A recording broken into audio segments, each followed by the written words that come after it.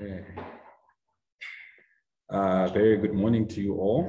Uh, to those that are, I see, uh, looks like I'm alone at the moment. It's just me.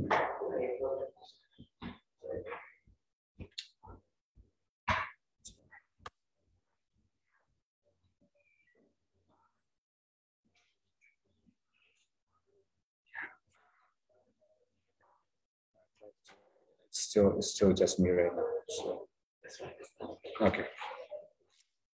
Okay, good morning to you all. Um, uh, happy Sabbath to you all, and uh, thank the Lord that uh, we've made it this morning for our class, which is uh, uh, looking at the at present truth in the book of Deuteronomy. And uh, today we are on lesson number four, which is talking about what? Who knows what lesson number four is talking about? Loving the Lord your God. Yes, to love the Lord your God. Uh, so we want to thank the Lord for this opportunity. And before we begin, let us bow our heads as we pray. Our kind and loving Heavenly Father, we thank you for the privilege that is ours today to learn and study of your word, which is uh, like refreshing waters that can nourish and quench our thirst in such a dry world. We ask, Lord, this morning, now that as we begin, that your spirit may be present. If he is present, Lord, he will help to teach and to guide and to open our minds, to lead us to all truth and understanding. We ask, Heavenly Father, that you be with those that are attending, be it virtually or uh, in, press, in person. And I also like to pray, especially for those that are still making their way uh, to church. I pray, Father, that you protect them and guide them safely. This is my humble prayer in Jesus' name who died for us on Calvary. Amen. Um, as, as mentioned earlier, uh, we are indeed looking at um, loving the Lord your God. And we are learning uh, from the book of Deuteronomy. In fact, uh, to begin, our memory text is uh, uh, from the book of Deuteronomy, chapter 6, verse 5.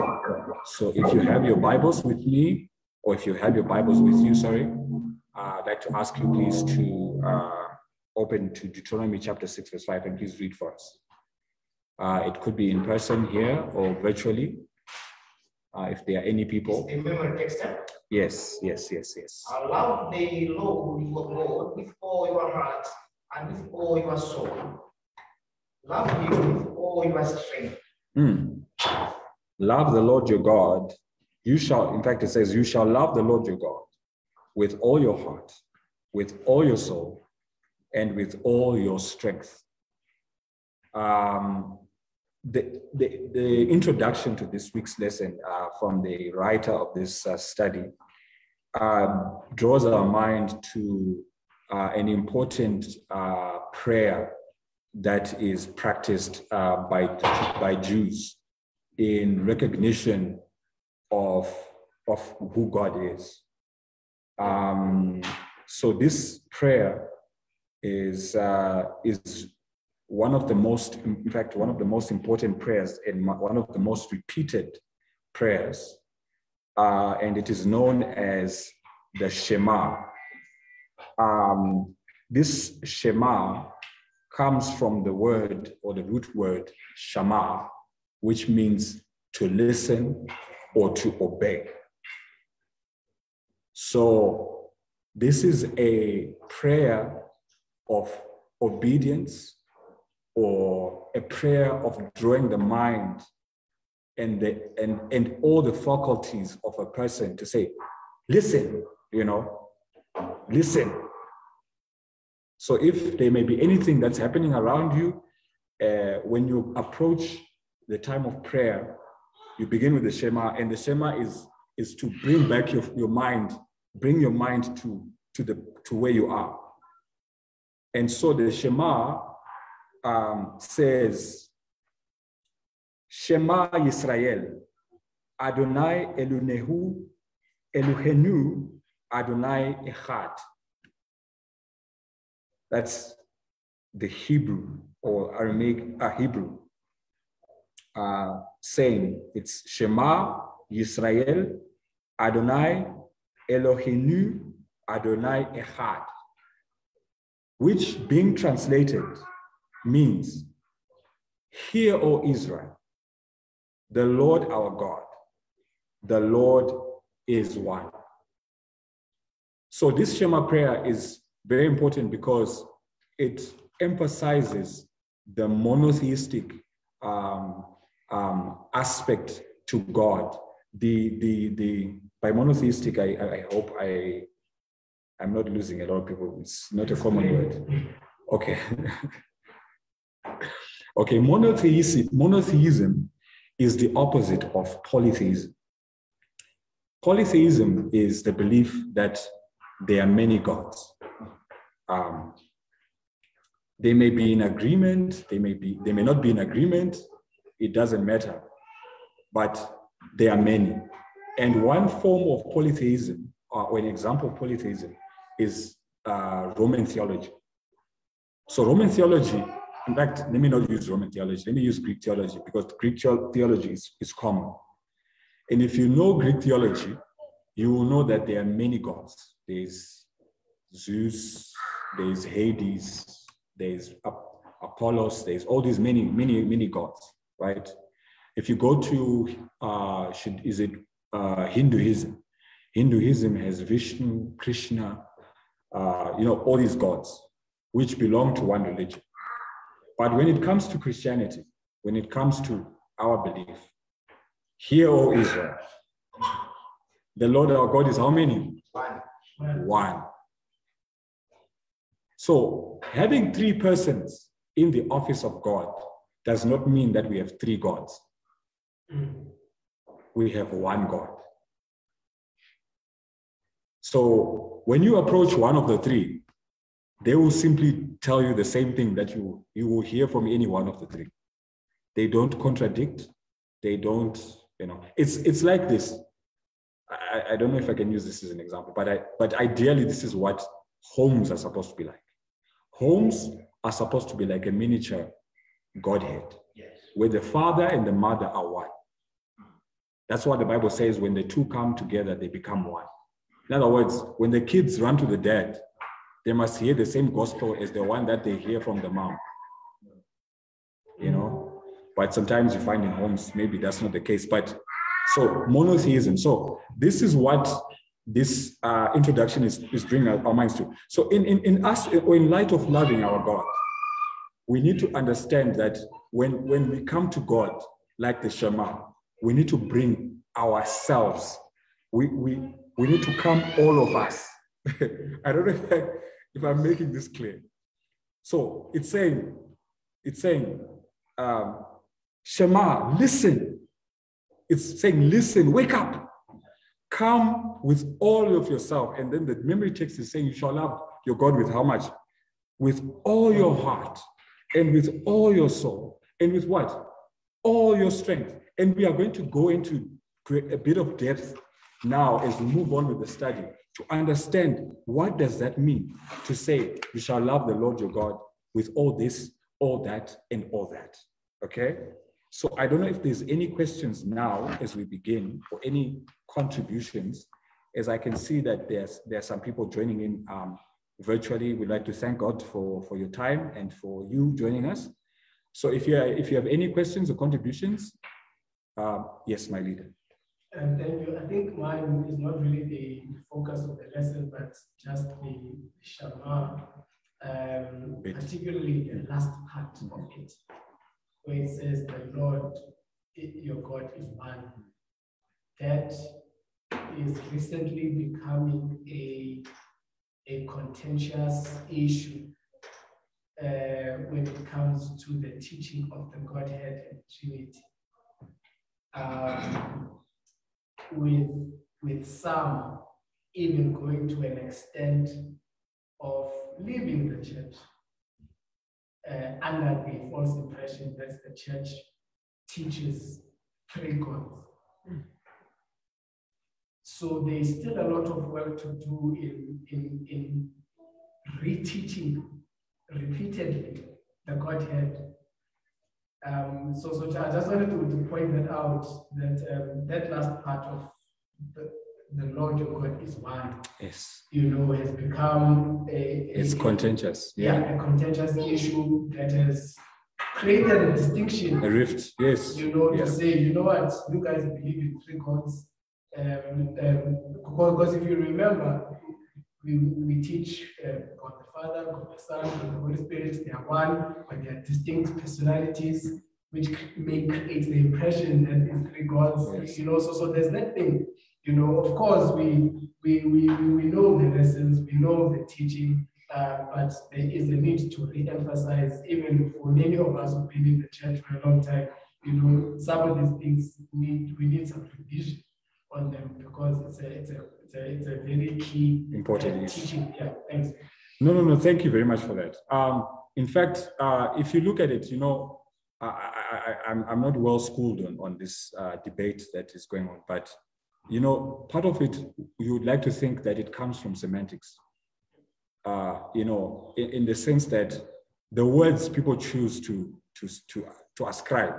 For example, saying God the, God the. God the, it would sound wrong because they are not God there, God there, God there. They are the Father, Son, and Holy Spirit, and those three are God. Mm, So it's not God that, God that, God that. It's the Father, the Son, the Holy Spirit, and those three are God. However, you find that people choose to use the word Trinity, and the word Trinity is not biblical in origin. In fact, it's not even Adventist. the, the Trinity theology starts from Roman theology, where God is one but in three dimensions. So he is one being, it's a one being that can have, can, can separate himself to become three dimensions. He can be seen as the Father, can be seen as the Son, and yet that's not theology, it's not biblically correct. Because the Father, the Son, and the Holy Spirit at one time existed separately and were seen. At the baptism of Christ, for example, the Father spoke, the Holy Spirit came down, and Christ was in the water. So clearly, that's not true to say that is one being. You understand? So the, the- I think maybe the the the the, the language maybe sometimes is, is, is the problem. Yes. Sometimes it's not even maybe you you mean the same thing, you know, but then maybe because you are using the wrong language, or maybe you know you don't speak the same language, you you start to drift eh, drift apart, and then maybe in that semantic issue, people start to plant, I don't know, whatever it is, you know. So, but Elder, you wanted to you had your hand up. Yeah, I wanted to also say something on the same words. Uh, the Jewish words, Yes. Shema, Mhm. as it is all translated already in English. But listen, people of Israel, Yes. the Lord is one. The Lord is our God, and the Lord is. Is one. When they were saying this, they were saying they were closing their eyes. It was like a prayer, so that it should be distracted from anything else. God, it, this was an emphasis. I just want to add on what Mr. Maheda said. We need to know, as a Christians, we need to know that we are God, one God. Yes. Do we really go by this God and God is God alone? Do we have other gods? We are Christians of today. Yes. Are we only serving this God? There are so many things that are happening out there. Do we really understand? That's why, as they were saying these words, they were closing their eyes to, to make sure that people should understand as they are listening these words, they should not be distracted by anything else. They should know, they should understand clearly that there is only one God. This message, message, message is coming to us today to remind us. Thank you very much. Thank you, my leader. As we proceed, uh, we are now going into looking at the love, uh, to love God. Um, and uh, we're now particularly focusing on verse, verse 1 of chapter 6 uh, to about verse 5 of chapter 6 of, uh, in the book of Deuteronomy. And if you remember, uh, Moses was recounting to the children of Israel uh, the history or their history as far as the dealing or the, their dealings with God. And he was showing them what God or who God was to them uh, historically as a people. Um, and I, I, in the morning with my elder, we are talking about being reminded, you know, us, us being people that need to be reminded, you know. And yes, you know, we forget, you know, uh, what God has done for us. Um, one writer says, you know, we have we have nothing to fear of the future, except as we forget how God has dealt with us when in the past, you know. So um, so this is what Moses is doing. Is re-educating them and reintroducing God to them and saying, this is your father. This is the, the father of this nation, right? So now as we begin, uh, let us look at, we, we want to look at the love of God. So I, would like to ask someone if you could quickly please go open uh, to Deuteronomy chapter 6 uh, from verse 1. Deuteronomy chapter 6, verse 1. All right, I'm reading. Now, these are the commandments, the statutes, and the judgments which the Lord your God commanded to teach you, that ye might do them in the land whither ye go to possess it. Yes. That thou mightest fear the Lord thy hmm. God to keep all his statutes and his commandments which I command thee thou and thy son and thy son's son all the days of thy life, and that thy days may be prolonged. Right. Hear therefore, O Israel, right? Yes. And observe to do it, that it may be well with thee, and that he may increase mightily, as the Lord of thy fathers hath promised thee in the land that floweth with milk and honey. Verse 4. You can hold on to verse 4. Can you see what, what Moses is doing here? He is he is saying, you know what, we are here. Eh? We, we were, you were told of, of the promised land. You were rescued from the, from the fiery furnace of Egypt. Now you are here. Why are you here, right? And, and he's saying all these things, but he's coming from the past. You know, it sort of suggests to me that before God requires your worship, you know, he he he says, look at your past. look, look, look behind you, you know. I, I, I'm not going to require anything from you before, unless you are convinced in the past, yes. you know, that I did it. You know, I'm I, I I am your I'm your father. Understand? Which is something that's very important, you know, because it, it comes to the love thing. Worship is not going to be genuine unless it's from love. And, and if love is not based on, on, on real connection to God, you know, it, it, it, it must not be, especially when it comes to this issue, it must not be second or third party kind of relationship where you say, I'm in church because God uh, uh, gave, uh, gave my mother money or, uh, or he did this for my sister. No, no, no. It has to be you. You have to be able to say, uh, you know, I'm sitting here because God did this for me. You know, He's He's come through for me in this way. You understand? I practically can say I love God because He's like this to me. You understand? It must not be, uh, uh, uh, uh, you know, a hearsay kind of relationship. God is not looking for that. He's saying, look at your past. If you find nothing, walk out. That's that's the kind of arrogance God has, if I may put it like that. He's saying, look, if you find nothing, nothing in your life, if you find absolutely zero in your life that says, I did, I came through for you, walk out. In the case of the Egyptians, he's saying, go back to Egypt and eat the garlic and the leeks and all that stuff that you are crying for in Egypt, right? And say, you know, you remember at the, at the sea, they said, you know, it was better in Egypt. we used to eat this, this, this, and that, that, that, that, you know. You understand? Anyways, moving on. Uh, let's go now to, to my favorite verse, verse 4. Let's hear what verse 4 is saying now. Okay, verse 4. Hear, O Israel, the Lord our God is one. Is how many? One. one. Verse 5. And thou shalt love the Lord thy God with all thine heart and with all, all thy soul and with all thy strength. You see now. So God doesn't show up and say, Love me from nowhere. It doesn't happen like that.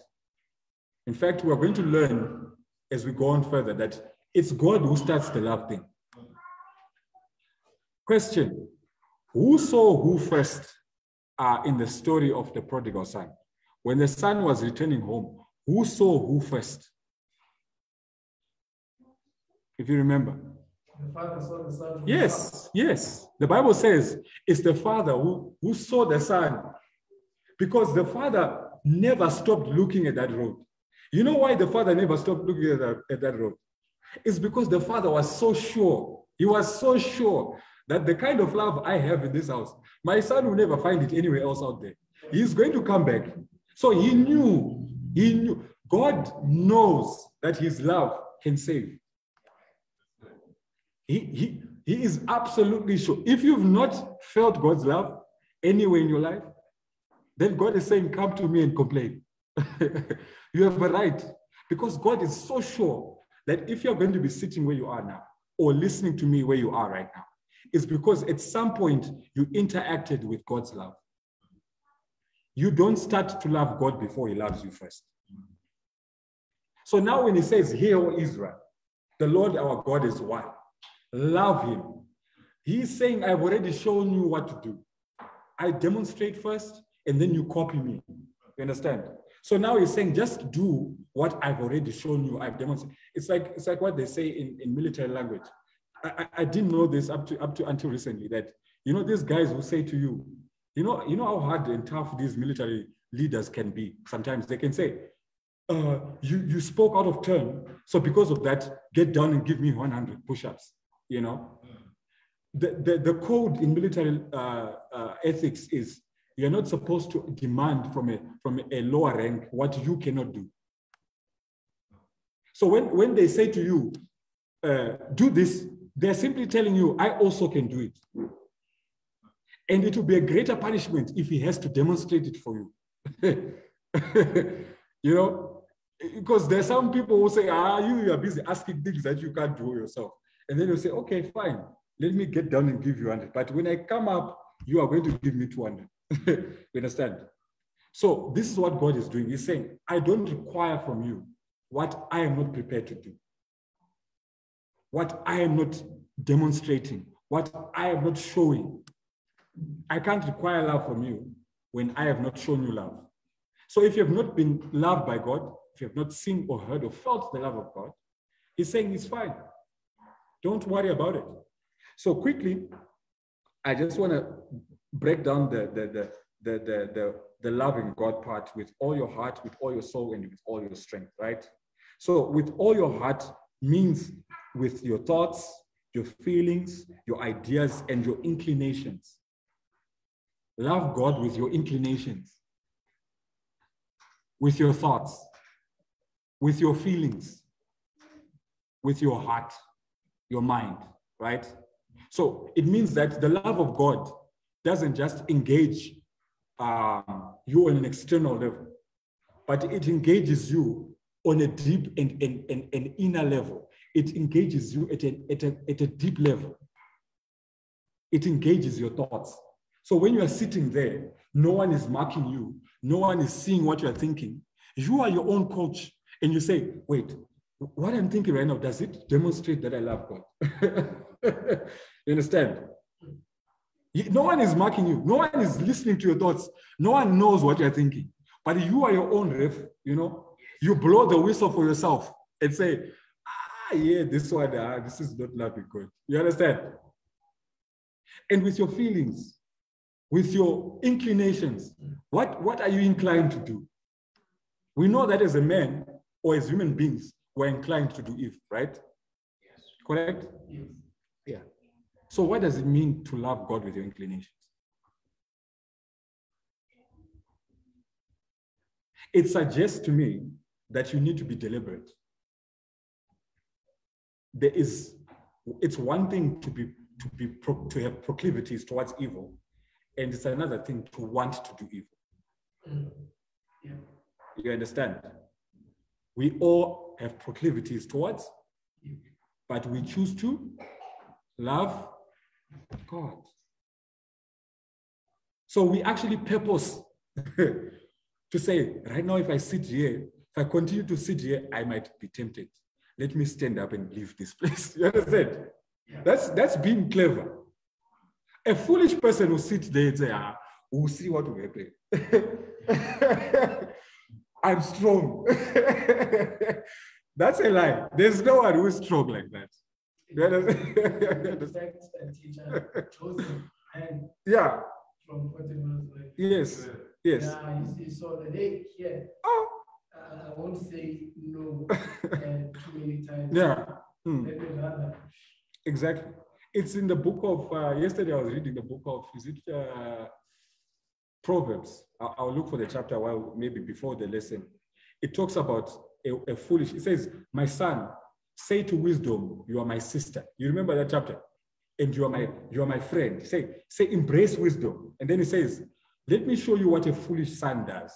A foolish son knows that at the corner there, there's a harlot that lives there. And she has the attire of a harlot it's chapter what? I'll, I'll, I'll, try and remember what the chapter is. And then he says, but he walks down that road in the in the twilight, you know, in the night.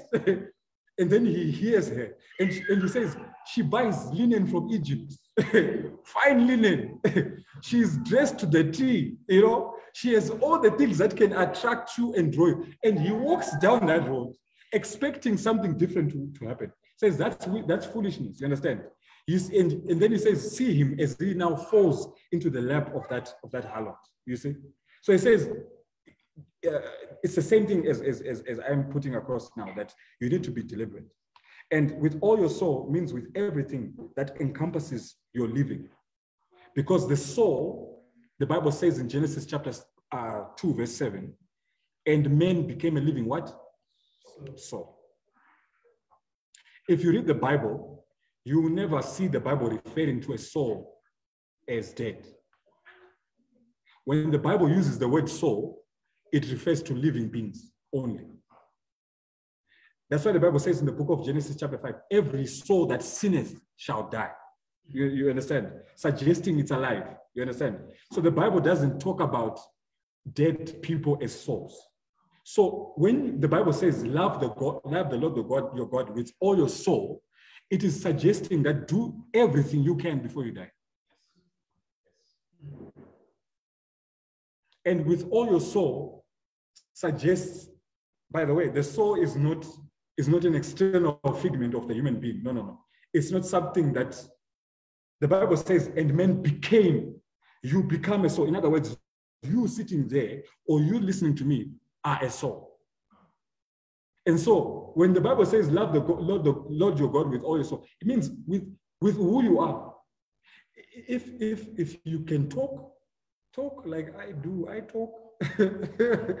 so I'm loving the Lord with by talking. You understand? If if if if if you sing, sing. You understand? If you limp, limp for the glory of what? Of the Lord. If you if you can make hay, Make hay for the for, for God's glory. Do whatever you can do with your soul for whose glory? For God's glory. And then lastly, with all your strength.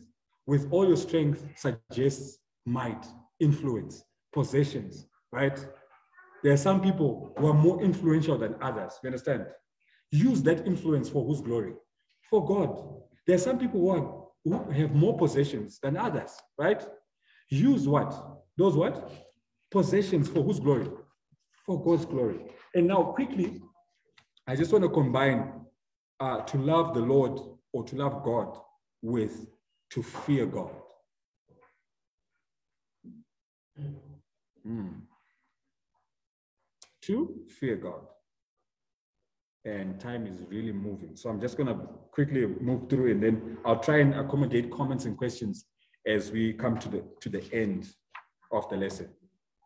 So, to fear God, uh, I just want someone to quickly please open Deuteronomy, Deuteronomy chapter 10, verse 12. If you can quickly get there. Um, if I get there before you, I will just read.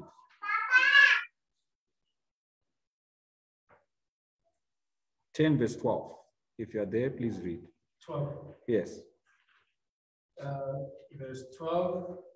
And now, Israel, what doth the Lord thy God require of thee? Yes. But to fear the Lord thy God, Yes. to walk in all his ways, Yes. and to love him and to serve the Lord thy God with all thy heart and with all thy soul. With all thy soul.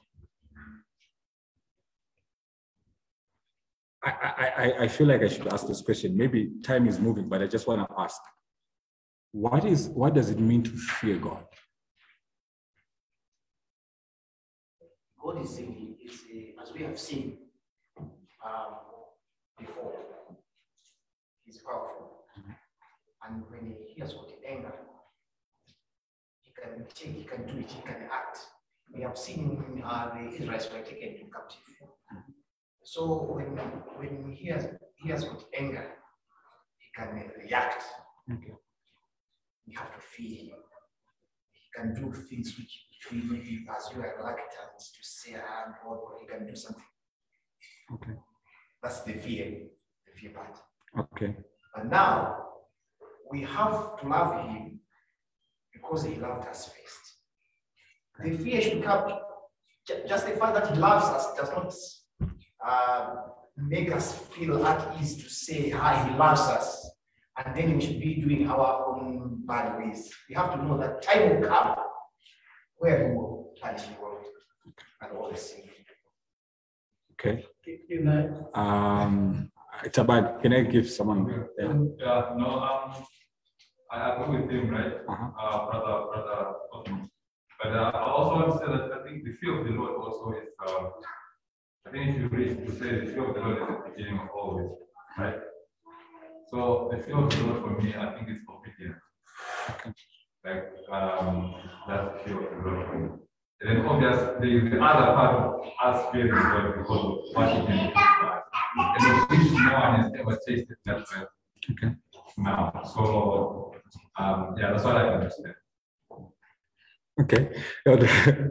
Uh, yes, no, I just wanted to, to, to disagree slightly um, with my fellow student here in the class Okay. um, about the fear of the Lord.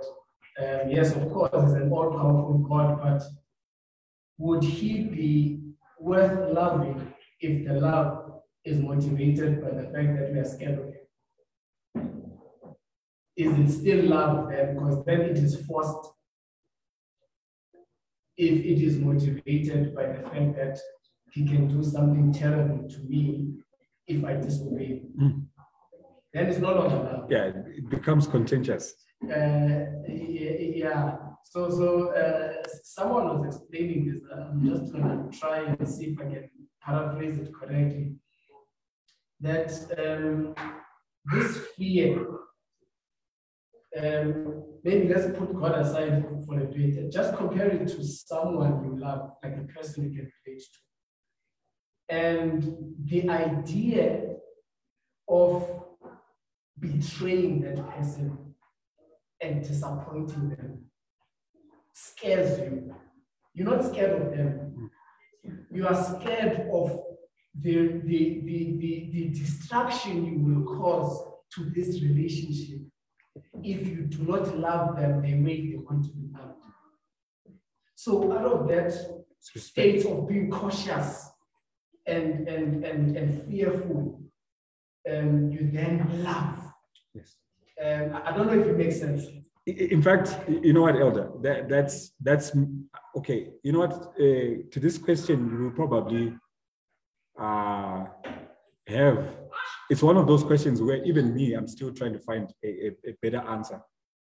But certainly, uh, logically speaking, we cannot fear God for punishment's sake, because if our if our service to God is is is is persuaded or is motivated by punishment, then God is a tyrant, and we sustain the argument that Lucifer has against God, which is to say that God is a is a tyrant.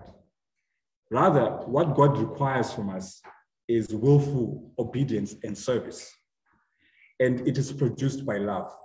However, to fear God to fear God is most likely close to what Elder was saying. To say, actually, I like what uh, one of the the the the the, the, attendees here at, at, on Zoom says. It's Miller actually. Miller says to fear God means to have and entertain the acute sense of His presence everywhere, in every moment. God also is present in the office, in the kitchen, in the bedroom, and in the marketplace. To suggest that God is in your life and dictates every single, all your soul. Love the God, love the Lord your God with how much? With all your soul. In other words, God dictates everything about your life. Understand? That what that, that is what a person who fears the Lord does. A person who fears the Lord is akin to a person like uh, uh, described by this is um, uh, should be Christian service or Christ object lessons, which talks about will, and it says men mankind and God have will, have, both have wills, right? Human beings have their will, God has their will, right? Has, has his will, sorry, right? But when the will of a man submits itself under the will of God, it becomes that will, that man's will becomes omnipotent. What does that mean? It means that that man can stand on a mountain and say to people, if I'm the prophet of the Lord, let fire rain from heaven, and fire will, immediately obey and do what that man has said. Because that man and God are so like this. They are so in sync. So everything about that person's life, and prophets usually are a good example because prophets do not just minister with their words. When you become a prophet, everything about your life is not belongs to God. To the extent that God can tell you, go and marry that harlot. And when she runs away, you go back again and pick her from the brothel and bring her back home and marry her again. And she runs again. And you continue, you know, you understand? You understand that? So to fear God is not fear of punishment, but it is recognition of how much influence God has on my life. To say, look, guys, I, I you know, there are some people, like, let me give you an example of people who don't fear God. And sometimes I'm one of those people. I, I, I, won't, I won't lie. Walking out without prayer. you know? Just waking up and walking out like you own your life. You know, you're like, you're like, ah, I'm my own protection. you know, I'm gonna, this day is gonna be fine because of me. No, no, no, no. You, you don't have that kind of power. You understand? But when you fear the Lord, you recognize that this morning is made possible, you know, like a commercial. this morning is made possible by divine what? Mercy. So that's what fearing God is. And that's what it, it, it translates to. And also the love aspect. Thank you very much for that contribution. So to fear God, I just want to quickly go to the benefits of fearing God and then we move on. Time is really moving. Yo. So benefits of fearing God, number one is um, God will not, uh, you will not depart from the Lord. So if you fear the Lord, you there's no departing from the Lord. You will never, in your life, you will never know how it feels to be away from God, like that, that son, you know, who went away from his father.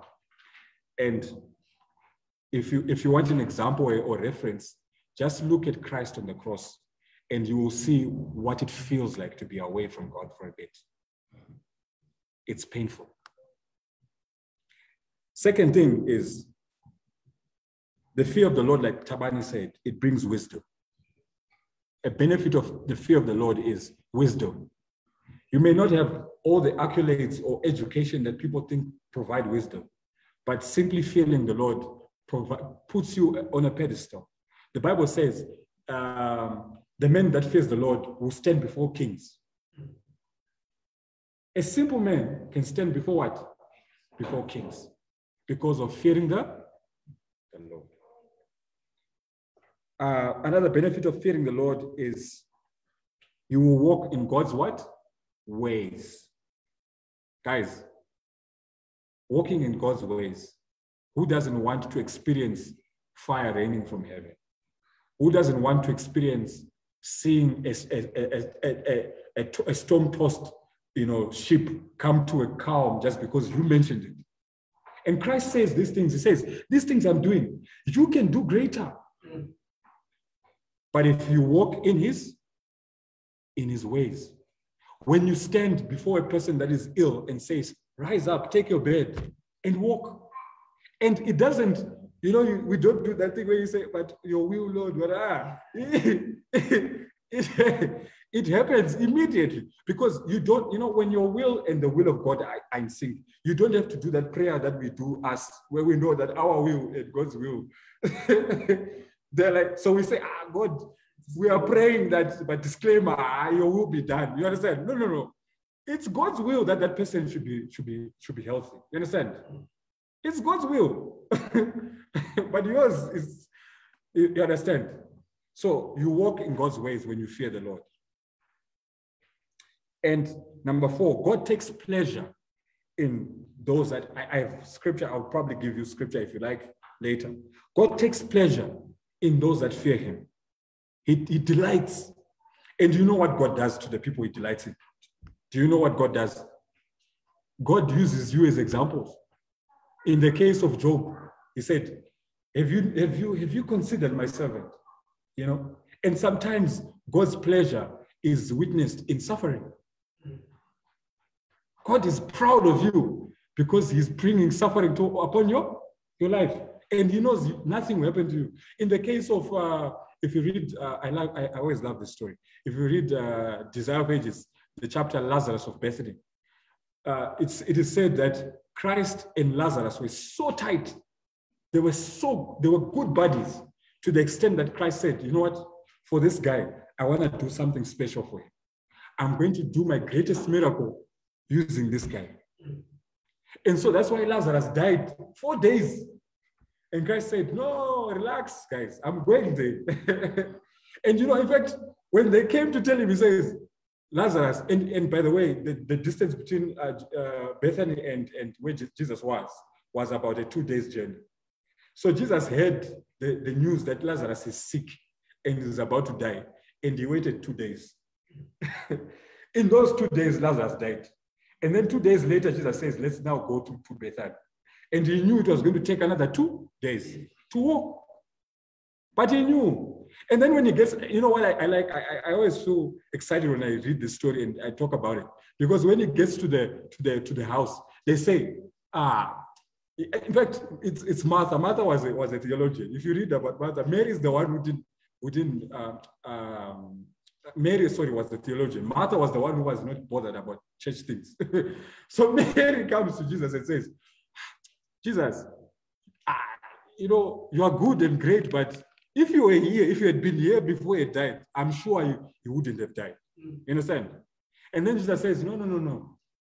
Uh, he will live again. Don't worry. And now Mary, being the, the Adventist, you know, she starts teaching Jesus about the state of the dead. She says, Yeah, Jesus, I, I know because when people die, there's a resurrection. it's in the Bible. What, what, what. and then Jesus says, No, resurrection, it's not a day. resurrection is me. I am the resurrection in the life. You understand? He starts to educate her that no, it's not an event or a day or a time. It's me. When I appear, resurrection is, is come. You understand? So th- th- that's what he was trying to teach uh, uh, uh, Mary. And, and he says, I'm going to, to, to, to raise him. And then, you know, the prayer Jesus makes before the people, I like Jesus, you know. He says, Father, I know you hear me, but this time I'm, I'm, I'm, I'm praying loudly so that they know that what's happening right now is because of my connection to, to you. I could have done this secretly, but I don't want to do it secretly, Father, because I want them to know that what's happening right now is because of our, our, our link. It says, so as soon after praying the prayer, says, Lazarus come forth. And Lazarus comes from the grave. So people are marveled, know, and, and people understand now that so Christ is not essentially using his own power on earth, but he's using divine power from, and he's showing us an example that if you walk in God's ways, you can do that. You can go to a, a, a, a COVID stricken ward and stand there and say to everyone who's in that ward, please take your pajamas and walk out there. And people walk out from their ventilators. But only when you walk in the ways of, of God. The last, uh, the last two benefits is walking when you are when you fear the Lord, God accepts you. You are accepted by God. And the last one is when you pray, God hears the prayers of those who, who fear him. So that's why sometimes we pray for sick people and they remain what? sick. It's because God is not going to pay attention to a, to a prayer of a person that does not what? Fear him. Okay. He first loved us. Like I said earlier, I'm not going to dwell much on this because time is moving. God requires of us what he has demonstrated. God first loved you. If you are here and can raise your hand and say, I loved God first, please raise your hand. I challenge you. the answer is there's no one. Even before you were born, God loved you. Did you know that? And before you were born, the Bible talks about predestination. And sometimes people think that predestination has to do with us being lost or saved. No, no, no. Predestination has to do with God pre approving or pre reserving love for who? For you and me. Did you know that in, in the book of Lamentations, chapter 3, the Bible says, It is the Lord's mercies that were not what? Consumed. They are new how much? Every morning. Did you know that every morning God purposely produces a fresh batch of mercy for you and me? Every morning. Every morning that you rise, you rise, God has, God has. And did you know that God keeps stock of his power? if you didn't know that, you should listen to Jesus when he was walking in the crowd in, in Mark chapter 12. And a woman touched him. It was not the plan. The plan was not to help a woman who is who's sick of blood. They were walking towards another mission. But someone just inter, interfered and touched Jesus. And power went from him. And he said, Someone touched me. And these people are saying, Ah, Jesus, come on. There are many people here. And says, No, no, no. I, I, I can I can feel power. And my I know my power. my power left me. Someone touched me. So God knows if you don't, if you also don't agree, you should read the, the parable of uh, the, the fig tree, where Christ says, eh, in fact, it's the Father who says, how, how much more can I do to this tree? I've given it all that it requires. And then Jesus comes and says, Father, no, no, no, let's give it one more year. God keeps stock of the things he has put in your life. And he does those things purposely. That's the predestination of love. In other words, God says, Actually, there's a book written by this author who says, You cannot outgive God.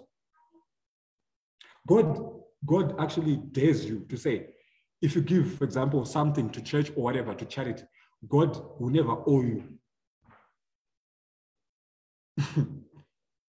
he will never owe you. He will give you more than you gave. That's God. If you continue giving, you always make sure he's not in debt with you. You understand? So God first loved us. He, he, he didn't wait for us to love him. And what God does, everything that God does for us, he is motivated by himself. Nothing in us motivates God to do anything for us.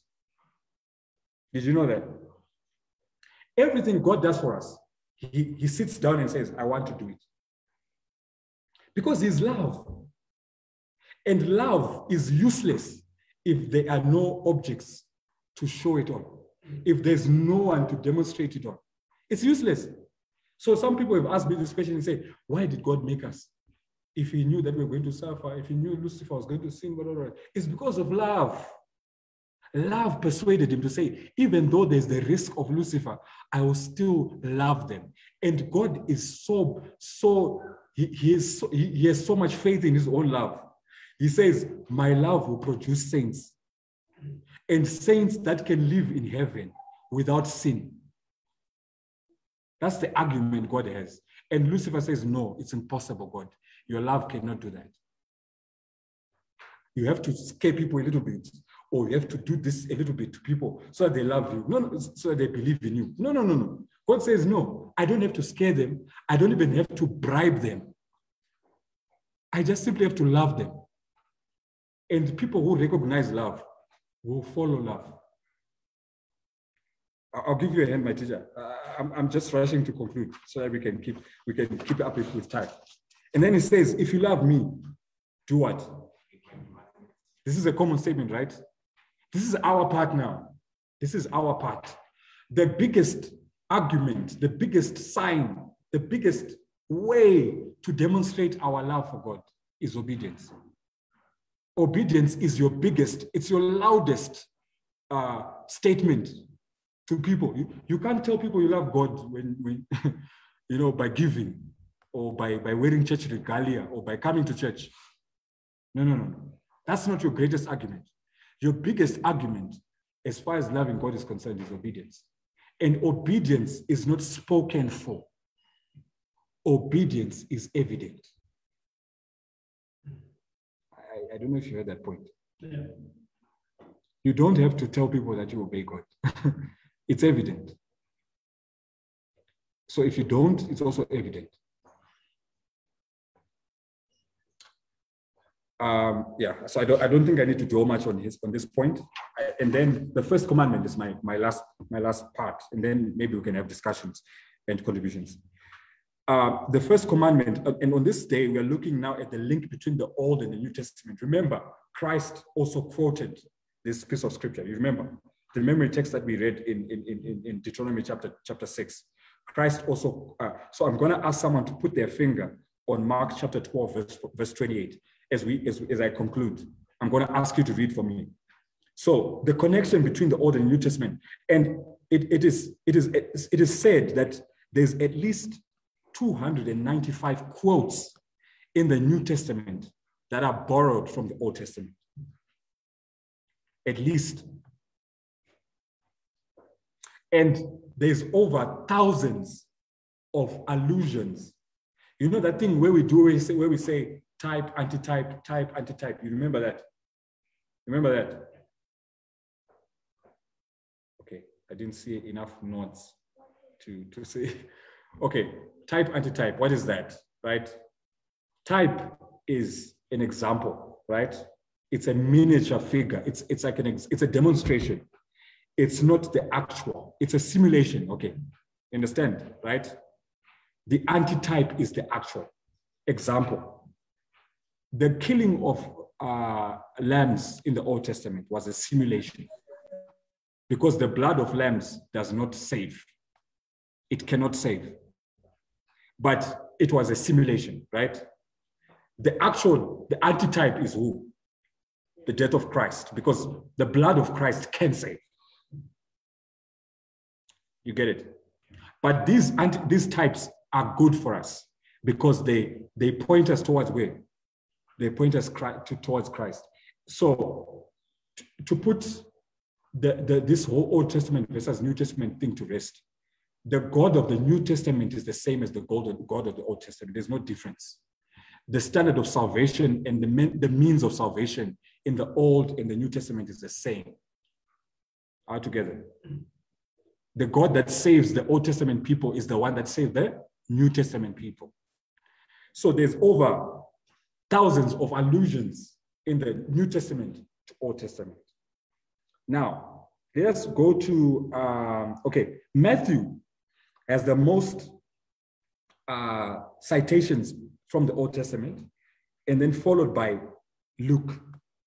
And then the book of Romans is believed to have over 35% of its verses referring to the Old Testament. That's about 153 verses from 433 verses. And then Hebrews is about 69% of its lit, of its content talking about the Old Testament. And that's about 210 verses from 433 verses. In the book of Revelation now, there's over 100% over 100% of what Revelation talks about is in the Old Testament. That's about 605 verses from, from 605 citations, sorry, from 404 verses. So 605 times the Bible, the Re- Revelation talks about the Old Testament in 404 verses. So can you see that there's no disconnect between the old and the and the new? Now, when Jesus says, and who has verse 28, by the way? I asked for verse 28, Mark 12. Who has verse 28? Please read. 28, Yes. Mark 12, right? Verse 28, it says, one of the teachers of the law came in and heard them debating. Yes. Noticing that Jesus had given them an answer, Yes.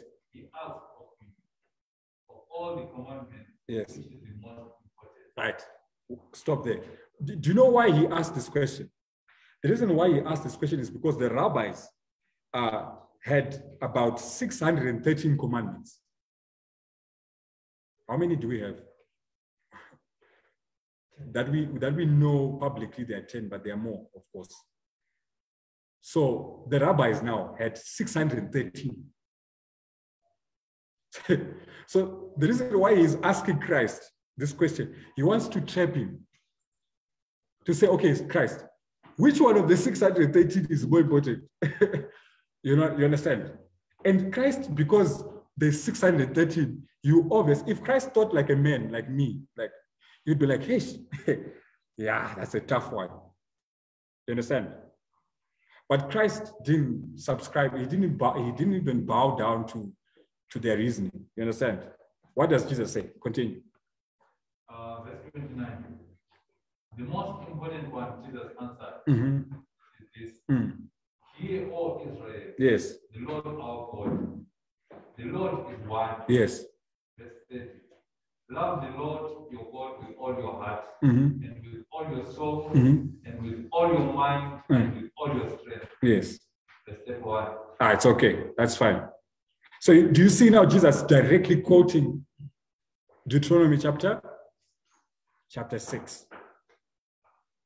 In other words, what what what Christ is is trying to say is that this prayer of the Shema, which is the monotheistic prayer, nothing has changed. Our God is the same yesterday, today, and and forever. So Christ is saying, I also subscribe to that what? To that belief. And this is very important about Jesus. It's very important. If you read Christ, especially when Christ is talking, he says, Have you not read about me in the prophets? Have you not heard what, it's, what it says there, there, there? You understand? Christ will always refer you to, to the Old Testament. Because the law of first mention is very what? Is very important. Getting the, the, the story where it is first mentioned is very important. Do you understand? Can you see how significant to the New Testament understanding the Old Testament is?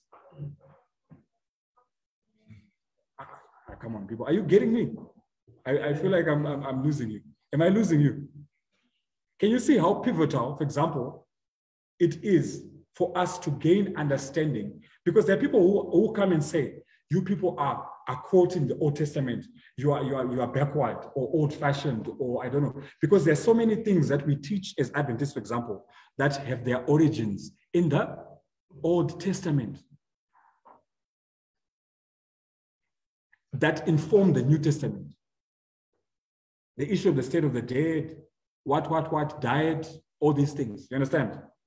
They inform our worship, even in the New Testament. And so people will struggle and say, What's the link? Here's the link. You understand? So now coming to loving God, even as, as we are. And Christ even goes further and says, with all your might. Christ added that bit. Did you notice that? It's not in Deuteronomy. It says, with all your He's simply saying, guys, and I think this is my final submission. My final submission to you guys is God is not, I hope this doesn't sound cocky. but God is really not desperate for, for, for people to worship him, you know?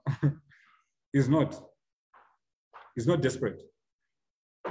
So when you when you decide to do this thing with God, God is looking for all or nothing. God is an all or nothing kind of God.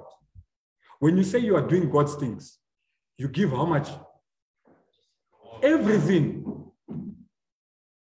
If you think you can't give everything, like in the case of of of of uh, Ananias and Sapphira, what what happens to you? Peter Peter actually said to them, guys, are you sure? Are you sure this is what you said you want to give God? They said, yeah, yeah, it's it. That's it. Ah, it, that's. and by the way, did you know that it was a lot? Even though it was not, it was not exactly what they had promised. That, that same thing that they gave, it was a lot, but it was just not what they had said. It was not all, in other words, because they had said, "I will give you all, all," and now they say, uh, "It's we want to give this, this, this," and then this is what happens to them. Yes, my leader. Um, thanks, I think that one thing I, I, I, liked in the lesson, just to um, wrap up what I learned, what it means to love God. And, and, and someone mentioned the concept of love languages. I'm sure we've heard about that, but within the uh, you know realm of earthly relationships. Mm -hmm that there are primarily five love languages, and uh, depending on where you come from and how you were raised and all of that, you are predisposed to a particular love language. So if you and your spouse have different love languages and you seek to love them in your own language and not in their language, they will feel unloved. Some of us learned that the hard way, by the way. Uh, when you know how you want to be loved and you transfer that to the other person. Meanwhile, they've got their own love, love language, which is different from yours. And you wonder why you keep having a conflict. Meanwhile, in your mind, you are thinking, but I am showing love. No, the other person feels unloved because you are not loving them in their love language. Mm. So someone said, obedience is God's love language. That is his specific way of saying, this is how I am made to feel loved by my objects. If we keep his commandments. Mm. I, I, think it, it, it, it, was something that it's a very simple analogy, but uh, it, it kind of, you know, it was a light bulb moment for me because I understand very well the, the concept of, of love, love languages. languages. Yeah. And, and the importance of love languages. You can love a person so hard, but if it is not their love language, they will feel unloved. Similarly, uh, with God, we can do whatever it is that we think God wants of us. Uh, uh, uh you know, sometimes we do all sorts of things claiming to love God. Mm. Meanwhile, all He wants, obey my commandments. That's it. That is the only way. That is His love language. Thank you. Hmm. Obedience is better than sacrifice. My That's true. Yes. The first, the first commandment. How can you love God What will you say? Indeed. Indeed. Uh, I, I, I, will try to just uh, answer you, but with with with with close, closing up because we have to really close up. Yes, it's important for us to to to realize that in the aspect of loving God, it's not just about loving God. Um, like in the case, like uh, what you are saying, Elder, our obedience to God is not uh, because God doesn't say, "Oh, I've received your love, I felt it." Largely, what happens is that the beneficiaries of that obedience are us. Okay, I'll give an example, and I want to. I hope this example is just the last one. You remember in the book of Genesis, chapter 18, when the when the angels came to to to to, to destroy Sodom. You remember? And then Abraham kept asking and saying, Will you destroy it if there's 18, if there's 10 people, or ah, 50 people, for example? Ah, I first said 100. If there's 100 people that obey. said, no, no, no. If there's 100 people, we'll spare it. What about if there's uh, if there's 50, we'll spare it. What about if there's 10, we'll spare it. You understand? What about if there's one? And they said, well, what? We'll spare it. You understand? In other words, what, what, what the angels were simply so showing us or telling us is that sometimes, sometimes we are beneficiaries of one person's obedience. One. Yeah. An entire city can become successful just because they, in that city there's one person that fears God. One. Imagine if there were two. Imagine if there were five. Imagine if there were 10. Understand? A disease can pass, a, a, it can rampage other cities and destroy other people and, and miss you.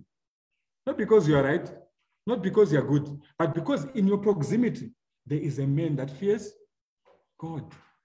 That's why the Bible says, as it was by one man's disobedience, all of us were led into what? Into sin. You understand? All of us, we, we are born with the sinful nature because of Adam. You understand? So, by one man's obedience, are, more, are all brought back to what? To light. In other words, by Christ's obedience, Christ alone. Christ, uh, it was Christ's obedience. One man, his obedience is enough to buy us all of our salvation. That's the impact of, of, of, of a God you have not seen. Now, what am I saying? I am saying, time is gone. I'm saying, when we love God, we don't give it to Him directly. We demonstrate it via who? The people we see. That's what I'm saying. You, you can't say you love God, but the people you, who are next to you are suffering. That's not what loving God is. Loving God is demonstrating it practically through the people you, you what? You see. Now, let us pray. We have, we have gone over time, you. I'm sorry, my lead. Let us pray. Our kind and heavenly Father, we thank you so much for this morning once again. We thank you for the insights and uh, the, the, the, the, the lessons we've, we've learned this morning. More so about loving you and how it relates and pertains to our life and salvation. We've learned, Lord, that without love, um, uh, we, we, we cannot be sufficiently motivated to do anything. Anything else, Father, that persuades us to do anything for you, which is outside of love, may it not, may it not be found in us, Lord. May you plant the seed of love that germinates and grows into a, a, a tree that blossoms with obedience, with respect, with, with reverence, with fear. All these things that are qualities that have been brought about by your love for us. Help us to continue to have the mind of Christ within us. That mind that persuades us and moves us and teaches us to walk in your ways. We thank you for this Sabbath morning.